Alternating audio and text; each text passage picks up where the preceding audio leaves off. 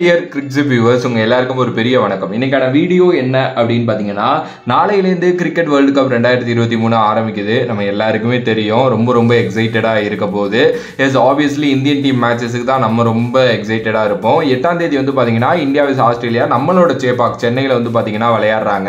So இதுக்காக Indian team ப்ராக்டிஸுக்காக வந்து பார்த்தீங்க அப்படின்னா சேப்பாக் வந்துட்டாங்க. எஸ் ரோஹித் சர்மா மட்டும் இன்னைக்கு கேப்டன்ஸ் டே வந்து அகமதாபாத்தில் நடந்துச்சு. அவர் மட்டும் அங்கே போயிட்டாரு. மற்ற எல்லா பிளேயர்ஸுமே வந்து இறங்கி இப்போ அவங்க ஹோட்டல்ஸுக்கும் வந்து பார்த்தீங்க அப்படின்னா போயிட்டாங்க.